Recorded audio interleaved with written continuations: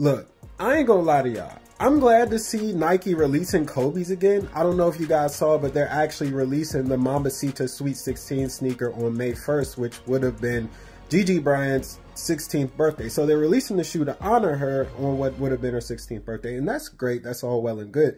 But did you guys see how they're actually releasing these sneakers? Because that's a mess. You have to have access to these shoes in two different ways, two distinct ways, I should say.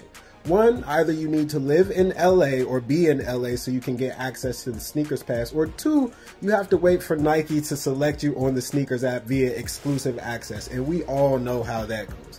Now, look, I ain't gonna lie, I'm happy that these sneakers are coming back. I'm happy that Kobe.